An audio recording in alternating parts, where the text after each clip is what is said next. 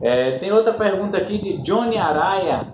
Gostaria de aprender mais sobre acompanhamentos, como deixá-los mais atrativos e mais completos. Estou tocando com um amigo violão e sanfona.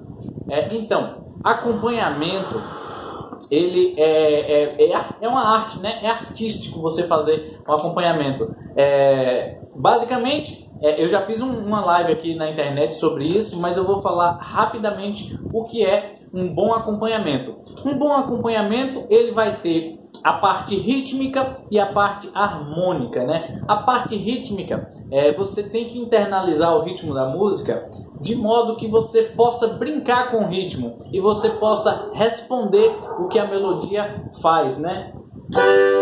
Então, por exemplo, eu vou pegar esse, esse ritmo aqui de Luiz Gonzaga. Eu aprendi aqui ficando em pé, o enquadramento fica certinho, né? Então,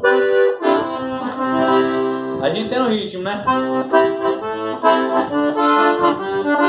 Então, quando a gente vai tocar o ritmo, né? A gente faz aqui.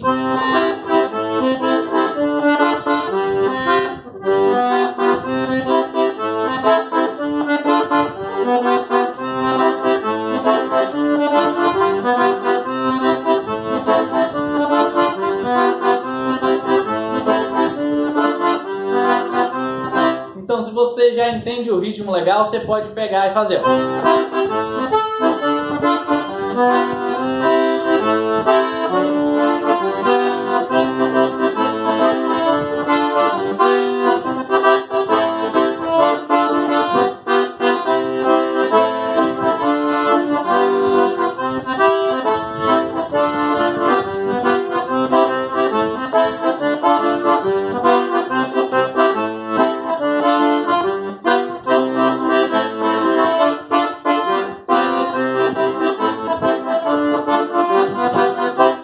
Você vai desenvolvendo a percepção rítmica, a, a, habilidades rítmicas e você vai fazendo o acompanhamento, né? E você pode também desenvolver a parte melódica, né?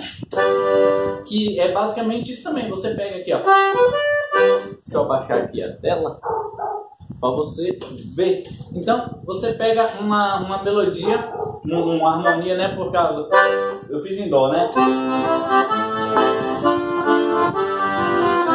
Thank you.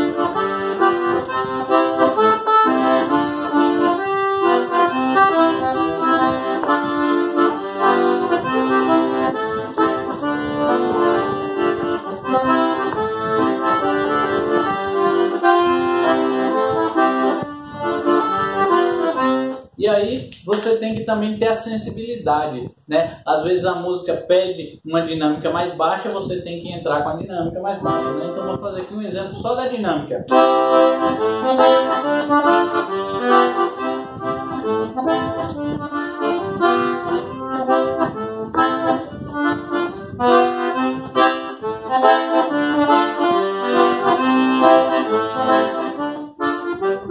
Então, essas coisas, quando você abaixa, você gera mais atenção, o povo presta mais atenção.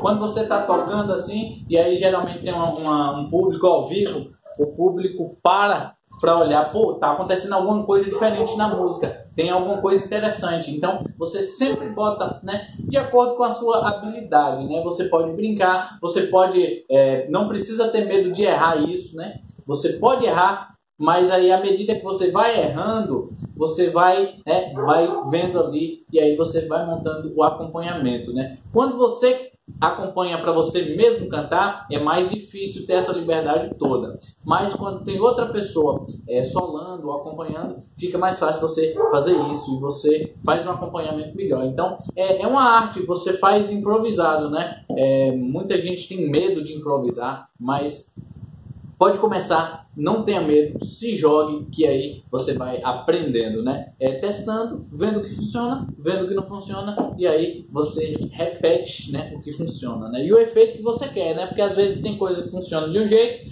que gera um efeito, mas às vezes você quer outro efeito, e aí você vai é, construindo seu acompanhamento da maneira que lhe convém.